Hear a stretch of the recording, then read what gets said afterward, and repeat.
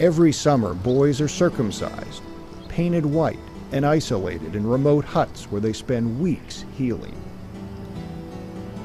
Always, there will be no ceremony before the circumcision. It comes with the speed of an ambush. Now the real danger of Tondo's initiation begins.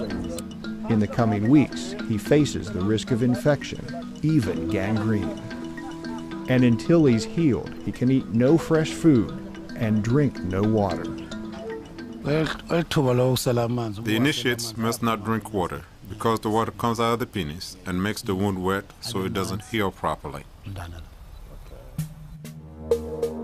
Should infection strike, he'll have to choose between getting care and remaining true to his tribe. If he seeks medical attention, the Xhosa will never accept him as a man.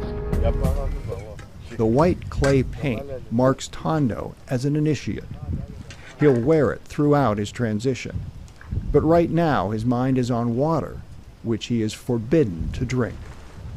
Sometimes initiates face dehydration so severe it can sicken or even kill. Tondo is allowed to sustain himself with only a liquid made from corn. After a week, Tondo is well enough to drink water, and he's allowed to visit with other initiates whose huts are nearby.